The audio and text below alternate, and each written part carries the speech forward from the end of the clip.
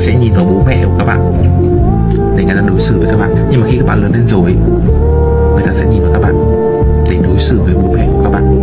Hãy nhớ rằng tốc độ thành công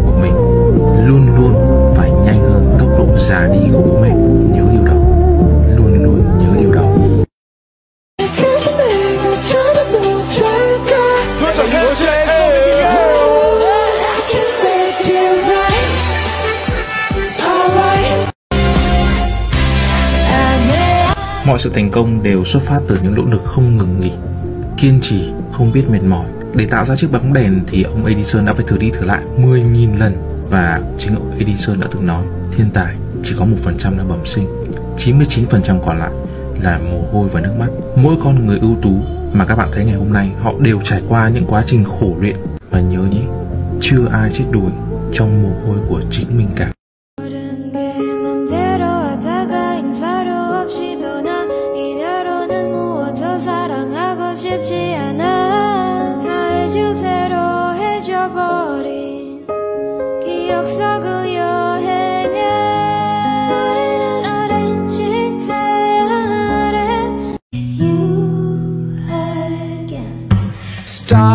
Comparing yourself to other people.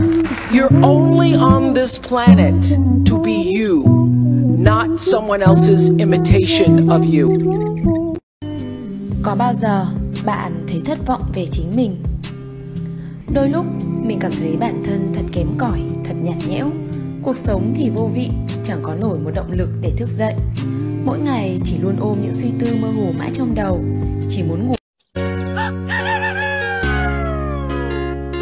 Mặt trời lại mọc rồi ư Không thể tin được. Cứ nghĩ hôm qua nhắm mắt lại Là xong hết rồi. Nhưng hôm nay lại thêm một ngày mới “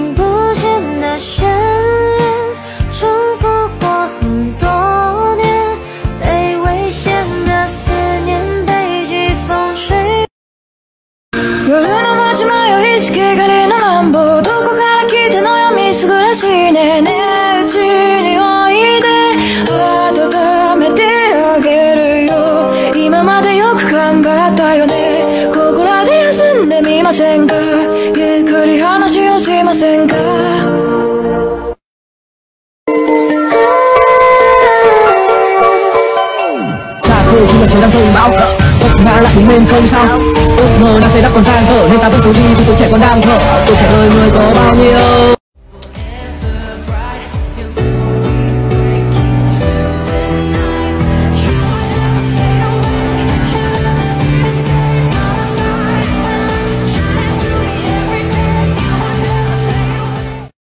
Trên đời này, để được thành công thì có hai loại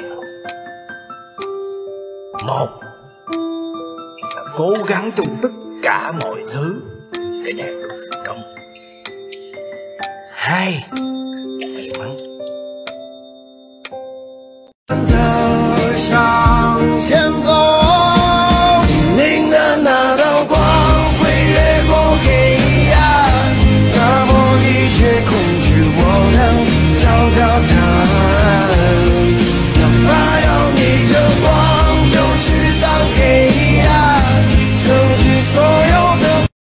đủ lớn để làm thì đủ lớn, để chịu mày đủ lớn, để học phải đủ lớn, để hiểu. Đủ sức chia tay ra xin tiền thì phải đủ tự trọng không dùng tiền đó mua sĩ diện. Hãy để tâm hồn là thánh đường. Đừng biến nó thành cái sở thú. Để bao nhiêu bạn bè hay bao nhiêu vật chất thì cuộc đời của mày nó cũng sẽ không bao giờ đủ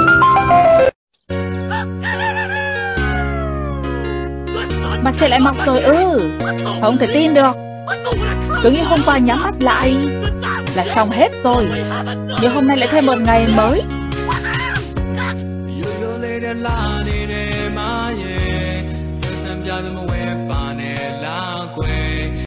I wanna you to feel me when I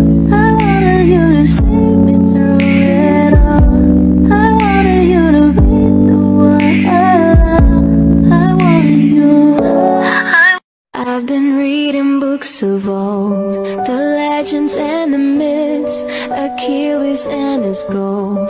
Hercules and his gifts. Spider-Man's control. And Batman with his fists And clearly I don't see myself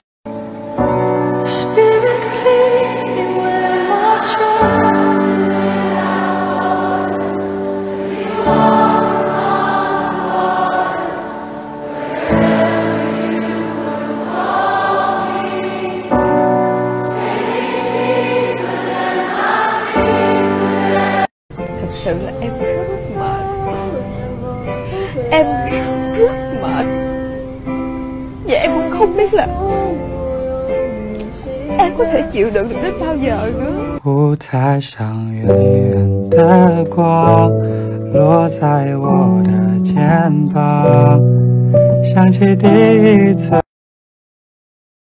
Một cái câu hỏi mà mình nhận được nhiều nhất đó là Anh ơi bây giờ em không thích cũng chả đam mê một cái gì hết Làm sao bây giờ? Bạn có biết là ít nhất 9 trên 10 người chúng ta ở đây Đều không có đam mê gì hết đâu. Mình nói rồi, đam mê nó xa xỉ lắm. Đâu phải dễ có đâu. Và mình nè, Một cái đứa mà cả thèm chóng chán, Làm một cái gì đó là dám ba hôm là muốn đổi làm một cái thứ khác.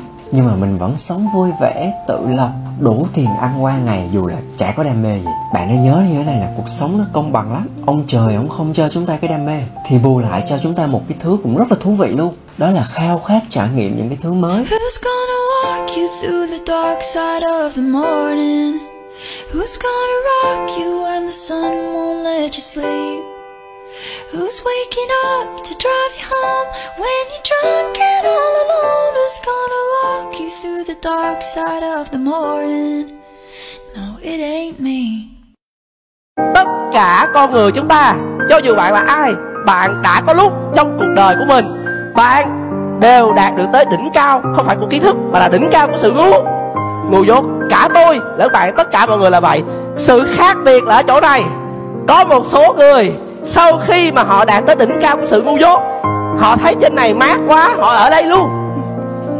Và cả đời của họ họ nghĩ rằng họ biết rất là nhiều, nhưng mà thật ra họ không biết gì hết. Và lúc họ luôn luôn tự tin vào sự hiểu biết của mình. À nhưng mà vẫn có những người sau khi mà họ đạt đỉnh cao của sự ngu dốt rồi họ bắt đầu dần dần họ vẫn tiếp tục học và họ càng học thì họ càng nhận ra một điều là mình không biết nhiều như là mình mình nghĩ và dần dần như vậy họ bắt đầu thay đổi cách tư duy của mình